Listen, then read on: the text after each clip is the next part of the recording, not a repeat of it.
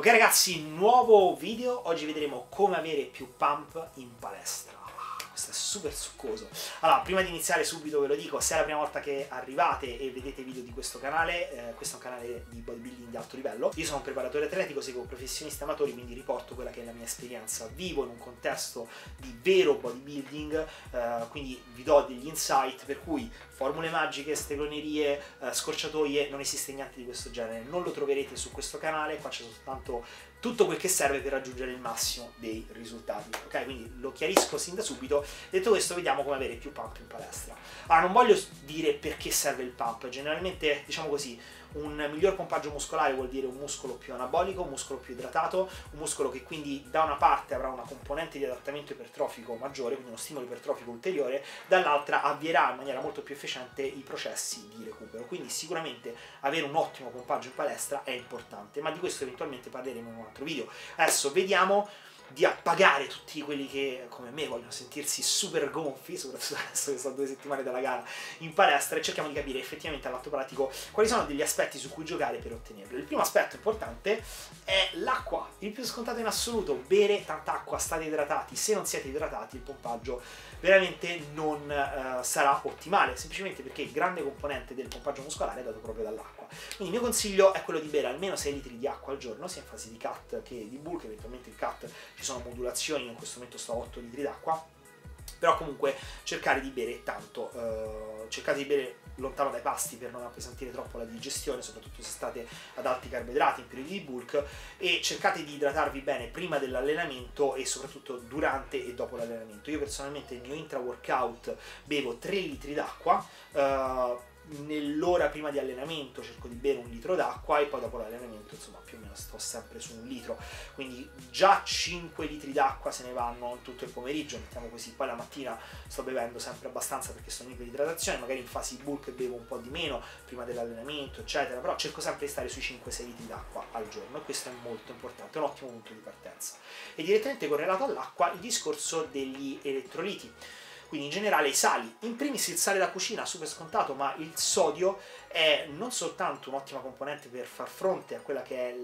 l'espulsione di sodio durante la um, sudorazione, ma uh, dobbiamo considerare sempre che il glucosio sfrutta i meccanismi di assimilazione che sono di trasporto attivo e sono sodio dipendenti, quindi il sodio in generale, il sale da cucina, migliora la captazione di glucosio non soltanto all'interno del torrente ematico, quindi l'emissione del torrente ematico, ma anche all'interno del miocita del muscolo. Di nuovo, il pompaggio è dato essenzialmente da acqua e dall'emissione di eh, nutrienti, tra cui anche il glucosio che entra nel muscolo sotto forma di glicogeno muscolare perché si lega all'acqua. Quindi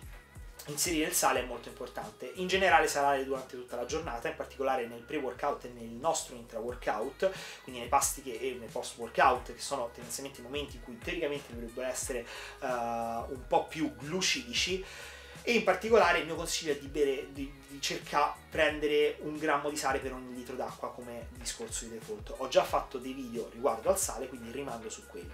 Nel nostro inter-workout assicuriamoci di avere anche una buona componente di magnesio e di potassio. Io personalmente suggerisco eh, una bustina di Magnesax, che è il magnesio bisglicinato, che ha un altissimo grado di assorbimento rispetto alle forme di eh, citrato. Se utilizzate il citrato, utilizzate 2,5 grammi di citrato, di magnesio citrato, quindi non di magnesio puro. Uh, per quanto riguarda il potassio, mi consiglio di prendere circa 3,5 grammi di potassio citrato, quindi di nuovo non di potassio puro, eh, per esempio nel vostro intra-workout e questo vi assicurerà un'emissione di sali e una maggiore idratazione, quindi pompaggio muscolare. Terzo punto, i carboidrati. I carboidrati generalmente nella giornata, ossia normalmente se stiamo bassi bassi di carboidrati è normale avere poco pompaggio, cosa che avviene ehm, durante per esempio i periodi di preparazione alle gare, quando stiamo in fase un po' più di restrizione glucidica, quindi avere comunque una buona componente di carboidrati che gestiamo bene, quindi anche una sensibilità insulinica ottimale e di questo ho fatto già diversi video. E in particolare inserire una buona quantità di carboidrati nel nostro intra-workout, sia nella bevanda che sorseggiamo durante l'allenamento. Io consiglio sempre più o meno uno 0,5 grammi per chilo di peso corporeo, quindi per esempio una testa di 80 kg, un 40 grammi di carboidrati, una testa di 90 kg, un 45 grammi di carboidrati, e via discorrendo, possiamo stare un po' più alti, un po' più bassi in base alla fase specifica in cui stiamo, non scendete troppo in fase di definizione in cui i carboidrati intra-workout possono essere un ottimo, un ottimo tool per migliorare la performance e il recupero muscolare, quindi non scendete. Io personalmente per esempio in questa fase di cut sto a 50 grammi di carboidrati durante l'allenamento. Come carboidrati vi consiglio le ciclodestrine perché sono una forma ad altissimo peso molecolare, quindi lo svuotamento gastrico è molto veloce, di contro però l'immissione nel torrente ematico è abbastanza lenta, quindi non ci portano a forti spike insulinici. Quindi in generale la forma migliore di carboidrati per andare a stoccarli all'interno del muscolo ma non sovraccaricarci a livello gastrointestinale, quindi chiamare troppo sangue a livello gastrointestinale. Ora, correlato ai carboidrati, eh, nell'intra-workout parliamo del nostro pre-workout, che è un aspetto altrettanto importante.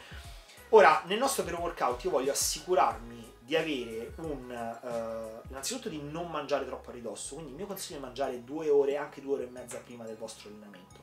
Nel mio pasto per workout voglio avere sicuramente del sale, come abbiamo già detto, una forma di carboidrati e una forma di grassi che vanno in questo modo a abbassare lo, l'eventuale spike insulinico e il carico glicemico, quindi ci garantiscono di avere una lenta immissione di carboidrati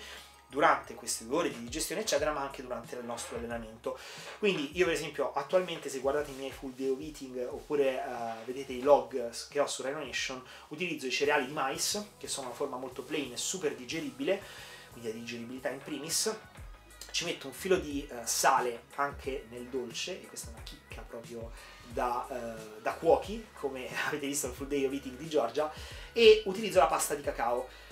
la pasta di cacao che non è cacao, eh, cioè non è cioccolato che trovate al supermercato, eventualmente potete prendere il cioccolato al 90-99%, però la pasta di cacao è ancora meglio perché ha tutti quei benefici della eh, cioccolata, della pasta di cacao, che sono soprattutto riguardo al rilascio poi di eh, dopamina e dell'ossido nitrico, quindi da una parte avremo più lucidità durante l'allenamento e un maggior pompaggio muscolare. Eh, io personalmente utilizzo un 20 grammi di eh, pasta di cacao che sono circa un 10 grammi di grassi. Ora l'ultimo punto è il discorso della connessione dello stile di allenamento, perché se facciamo allenamenti di forza è logico che il pompaggio sarà ridotto, mentre se lavoriamo con una forma perfetta, una massima esecuzione e ripetizioni tendenzialmente più elevate, allora avremo un maggior pompaggio. Ora, non dovete impostare il vostro allenamento esclusivamente in funzione del pompaggio muscolare, ho fatto un video molto interessante su Renonation riguardo a quello che dovete ricercare in allenamento, quindi vi consiglio di andarlo a vedere perché spiego nello specifico. L'allenamento deve essere sfruttato in modo da stimolare il distretto muscolare, però